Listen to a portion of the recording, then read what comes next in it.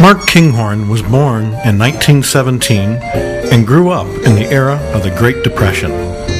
His mother, Esther, died when he was five years old, leaving him and his four brothers to be raised by his Uncle Tom and Aunt Pearl.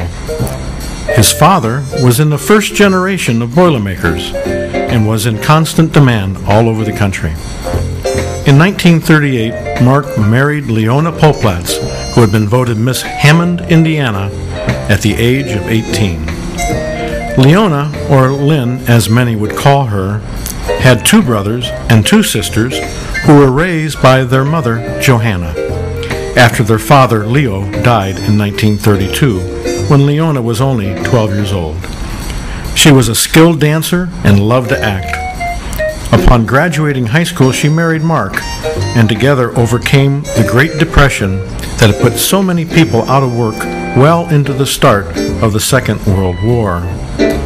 Through her influence, the marriage consistently stressed and modeled the importance of stability, perseverance, fair mindedness, and steadfast love for each other and their family.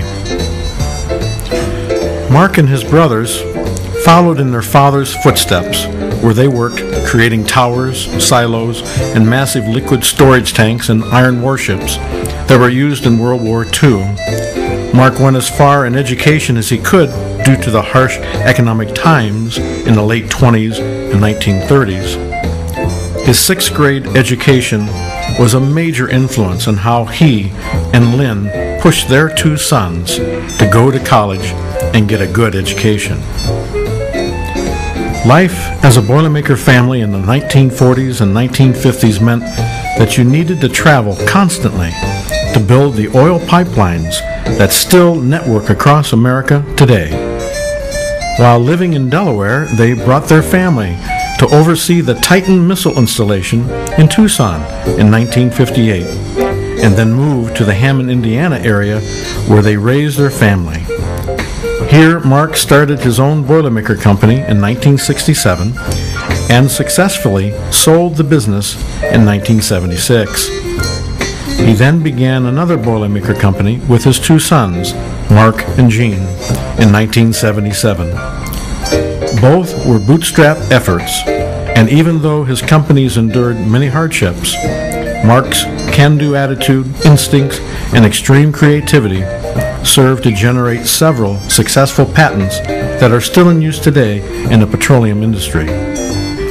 Mark and Leona instilled values of God, fairness, hard work, dedication, and stability that shaped their family and their grandchildren today.